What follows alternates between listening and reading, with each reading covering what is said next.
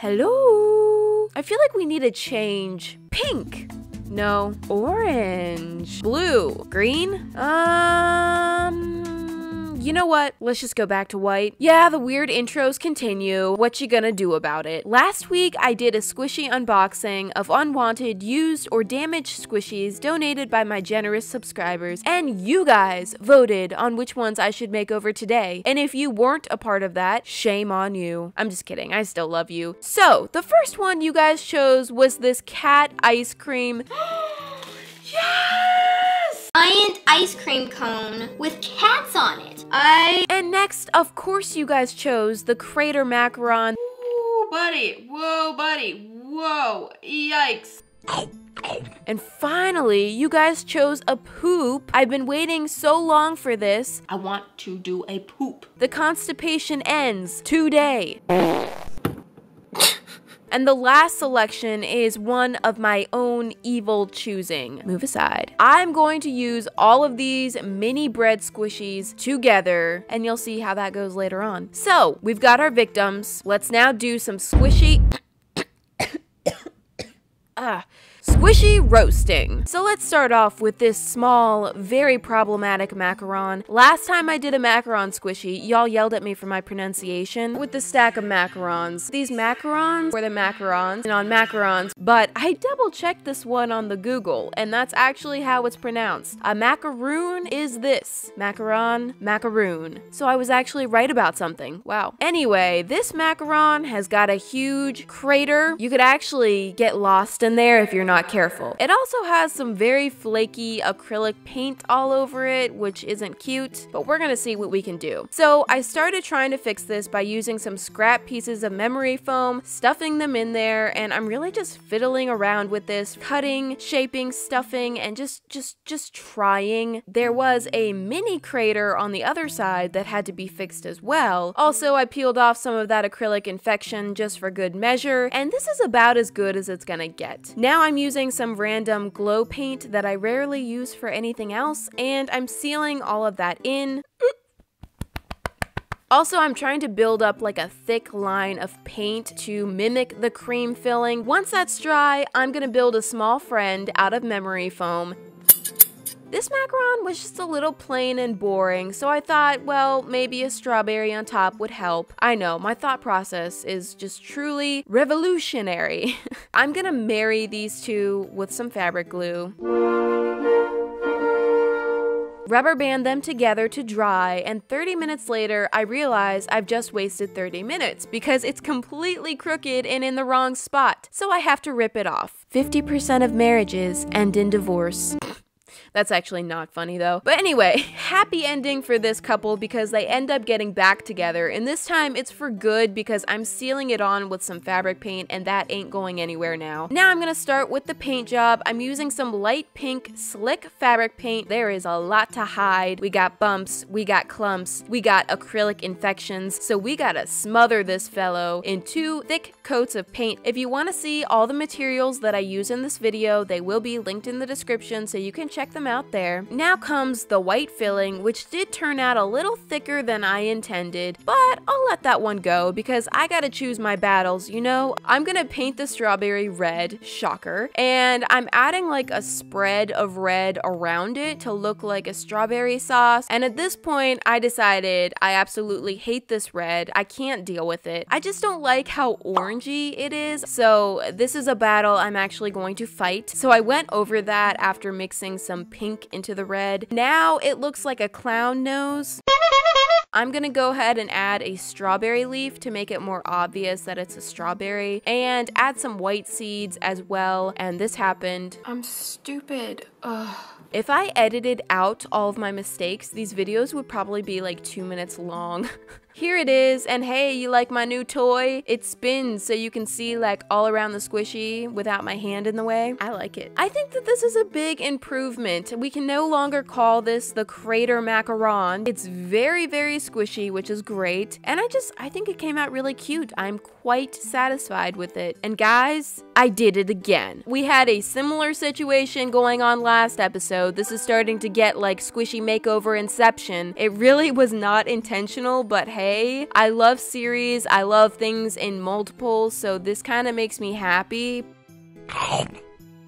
Okay, and now it's time for the pile of bread slices. There's a lot of different things going on here, so let's break it down, shall we? So we've got two panda bread slices, one that's perfectly fine and the other that's been through some stuff. We've got this derpy looking fellow, derp, derp, derp. This one, which is actually, um, adorable. You're beautiful, it's true. I've got to break that habit. And finally, we have this, well, uh, I don't know. Okay, like this is just such a pointless design. What does this even mean? anyway, these bread slices will unite to make a sandwich. Who saw that coming? So here's the plan. I'm gonna keep the pandas as the bread, and the rest of these fools are gonna be the sandwich guts. They're a little too thick though, so I'm gonna start by slicing through Derpy, and I'm just carefully working my way through, trying to cut as evenly as possible, and aha, success! So now I'm just gonna trim the shape into more of a circle because this is gonna be the ham, and the other part of Derpy is going to be the cheese, so I'm gonna cut that into more of a rectangle shape. Brilliant. Now, I'm gonna use this nonsense to create some lettuce, and I'm going to, again, cut a strip all the way around, but this time I'm not gonna go all the way through. Oh no, no. I'm just gonna use that cut to separate the top and bottom so that I can rip off different pieces and create a lettuce-like texture. And now let's see it all come together. We can work with that. And you may have noticed that Cutie Pie's life was spared. That's just the way it worked out. You're beautiful. Okay, not again. so now here's the dilemma. Do I paint all the pieces separately and then glue them together, or do I glue them first and then paint them? Ultimately, I decided to glue them together first because I like how when you paint over everything as a unit, it seals everything really well and you don't have to worry about it coming apart or anything like that. It feels like one united piece. And I know like sandwiches are not one piece, they're like different pieces. Yeah, I get that, but it's a squishy, so it's not a real sandwich. We are in business now. I'm gonna bring out my blue paint again and throw on a layer, especially over top of the lettuce because it's got a lot of holes in it. And I'm just gonna clean that up and fill in all the gaps as best as I can. Once that dries, I'm going to use a green puffy paint over the lettuce. That's some wet looking lettuce. I didn't really like the way that looked. So I'm going to go over it with a matte green paint to give it a cleaner look. And I'm starting on that top piece of bread. And wow, look at that. I'm just going to jump into everything now. The ham, the cheese, just tossing paint everywhere. This looks a hot mess. Um, I'm working on it, okay? So this was really just about going back and forth and touching up and fixing up and going over things like a million times. I did add a layer of mayo as well because there were some gaps that I wanted to fill in. So not everyone who watches these videos actually decorates squishies themselves, but for those of you who are interested in trying this out, don't do it, it'll take over your life. I was just talking to a fellow squishy decorator and she told me that this matte paint can wear out with squishing. I hadn't seen this happen to any of my squishies before, but then again, I don't squish them a ton. So I painted a test squishy and I squished it over and over and over for two days straight. The paint doesn't flake or come off, but I did start to see some cracks. Honestly, I still think this paint holds up pretty well to squishing considering a store-bought squishy would probably be in worse condition at this point, but still. I ordered a bunch of different products to try out as top coats to see if we could get this even more durable, and this is the one that seemed to hold up the best in my experiments so far with no cracking even after a lot of squishing. So this is the one I'm going to be using today, but I'm not completely committed yet because I am still testing out a few more and doing some experimenting. Anyway, here's my sandwich, and I'm super happy with it. I love the amount of detail. I think it came out really good. I know some people are going to say, oh, it needs a face, and I almost added a face to it just to make people happy, but I just couldn't bring myself to do it. I really like the way it is. Don't get me wrong, I like faces on squishies and everything. I think they're cute, but I just don't feel like every squishy needs a face. But for those of you who need to see a face on things, here you go. Are you happy? Is that good enough? But yeah, anyway, I love this little sandwich the way it is. It was kind of tricky to make, but totally worth it. Okay, and now it's time for my cat cone. Cats plus ice cream equals perfect. The squishy does have its problems. There's a large chunk missing from the cone, which I actually didn't see until I was filming this. I think I was blinded by love. Also, a huge rip and lots lots of cracking. I do appreciate how the one on top looks happy and the one on the bottom is like not having it. First, I need to repair the rip and my fabric glue is looking a little rough. It kind of exploded, so I get to deal with that mess now. I'm gonna glue that rip up and band it closed and look at them, still smiling, still annoyed. And after letting it dry and removing the rubber bands, the rip is looking much better. Now I'm gonna turn my attention to the chunk. I'm using some memory foam and fitting a little piece in there and gluing it in place. Then I'm gonna trim off the excess and coat it in lots of paint to try to cover it up, which was kind of working. And while I'm at it, I'm gonna seal the other cracks as well, because you never wanna have your cracks showing. That's not classy. Once all that dries, I'm gonna pick from my large array of mixed tan paint, and I'm gonna paint over the cone with basically the same exact color as before. Yeah, I'm not too adventurous when it comes to the cone. I basically just stick to the classic. Maybe I should try something different next time, I don't know. Now I'm gonna paint the bottom cat with some light blue, and you can see by my uh, light pink paint that's open for no reason because I didn't use it until much later. I'm gonna do a cotton candy theme, and you have no idea how long I agonized over this idea. I mean, this squishy was my sweetheart, my precious, and I wanted to do something good, but I was scared to do anything too crazy, so I went with a cotton candy theme, which is kind of a classic for me. I did kind of like the solid colors on the cats, but they also looked a little plain, so I used a toothbrush to remove plaque. I dipped it in paint and then took most of the paint off so that it was almost dry, just a tiny bit of paint left, and then I used it to create some little speckles to look like cotton candy bits and just give it a little texture, make it a little bit more interesting. Most of the time, cotton candy ice cream has something like that going on, so I thought it'd be a nice addition. And now I'm going to focus on some of the details of the faces and whatnot. I really like the one happy, one annoyed idea, so I'm going to steal that, but I'm going to exaggerate it so that it's more obvious. So the pink cat is even more happy and the blue cat is even more annoyed. We gotta be extra with this kind of thing. Okay, let's get all these intruders out of here. So we still have this magenta ice cream kind of poking out, so I used a thick layer. How many times have I said the word thick in this video? I feel like I've said it a lot. Thick coats of paint. Too thick though. A little thicker than I intended. Anyway, a thick layer of white paint because I'm gonna add some 3D cotton candy bits on here, and I made these out of polymer clay specifically for this squishy. I went above and beyond for my precious. That's getting borderline creepy now. The big question is, are these technically sprinkles? Mmm, I don't know. They did somewhat satisfy my sprinkle obsession, but they're different. And I am sealing this one as well because I did use that matte paint, and I'm also using that to secure the cotton candy chunks on there. There's a lot going on on this squishy, but I hope it's not too much. I think it looks super cute and I'm really happy with it. There is a little scar where the missing chunk was, but I think it's a pretty decent patch job. There was a lot of effort and detail put into this one. It took forever, but I'm super happy with it. It's just lovely. Ooh, and that butt.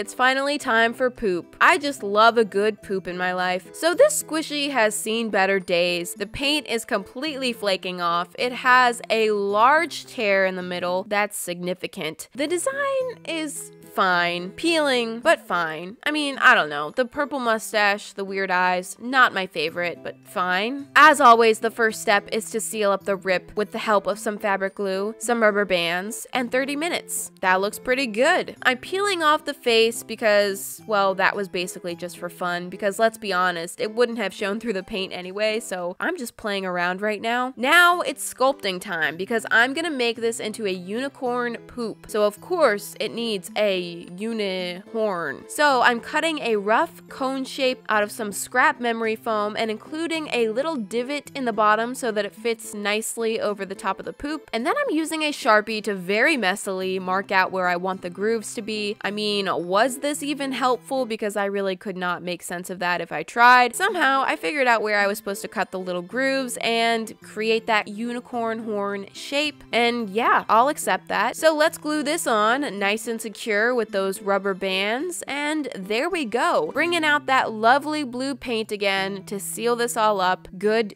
good, good. And now for the poop itself, I'm using some iridescent fabric paint mixed with a white metallic fabric paint to create a pastel-ish rainbow of pearlescence. And I just thought this paint would be perfect for the unicorn theme because it's shiny, it's magical. Of course, we need two coats of this. It took forever. I'm not too worried about blending right now. I'm kind of just doing some messy stripes. And here's where the blending comes in. I'm going in with a paintbrush and a very small amount of paint with each color and overlapping them and going back and forth. And once I'm happy with that, I get to do the whole process over again on the bottom. Yay! And this got a little chaotic. I just kind of extended the colors from the sides onto the bottom and wound up with a steaming hot mess but I just let it dry like that and then use the second coat to kind of clean it up a bit. Of course, blending with a paintbrush once again. Just because it's the bottom doesn't mean we get to slack off. Every side is just as important, okay? So let's turn the attention to the horn. For this, I went with a gold metallic paint, which I haven't used in a long while. And this paint does not look metallic at all when it's wet, but as soon as it dries, bam, metallic magic. Now I'm gonna add the unicorn eyes and eyelashes to the front. Whenever I film the detail work, I always end up in like a weird part of the frame. It's really difficult to focus on filming and not screwing up terribly. The final touch, I'm adding some white metallic stars just because, you know, unicorn, magical stuff. And here's the final squishy. I mean, it's pearlescent, it's rainbow, it's unicorn themed. Of course I love it. This one came out more simple looking than I pictured it actually, but it's nice. It has such a good squish to it. I'm also pretty proud of the the way the horn turned out. I think it looks pretty decent for being hand cut, if I do say so myself. But yes, I'm very happy I finally got to do a poop, and I must say, this is one of the best looking turds I've ever seen. I hope you guys enjoyed the squishy makeover, and quick heads up, next week is going to be a little bit different than usual. I'm going to be posting an announcement video on Monday, and then the squishy package unboxing video will then scooch over to Friday, because it's a huge one that's going to take me an eternity to edit. Okay, thanks for watching. I'll see you guys next week. Bye.